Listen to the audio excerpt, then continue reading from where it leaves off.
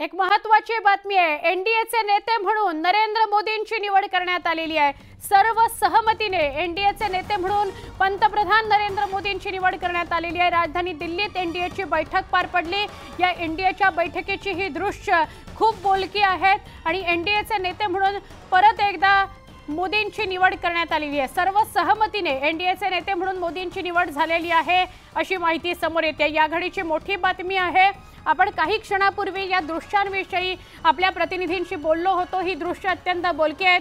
पंतप्रधान नरेंद्र मोदी बसले त्याच्या बाजूला चंद्राबाबू नायडू बसले त्याच्या बाजूला नितीश कुमार बसलेत आणि इतर सगळे एनडीएचे घटक पक्ष मित्रपक्ष सोबत आहेत. आपल्या सगळ्यांना हेही माहिती आहे.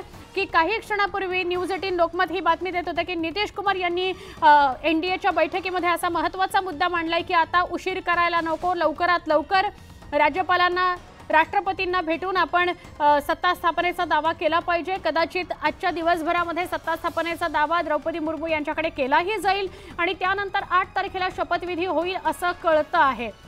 अजून अपडेट आपल्यापर्यंत पोहोचते पण नवी दिल्लीमध्ये ही बैठक पार पडलेली आहे. एन डी एची महत्वाची ही बैठक आहे. सगळ्या मित्रपक्षांसोबतची ही बैठक होती ज्यात आपल्या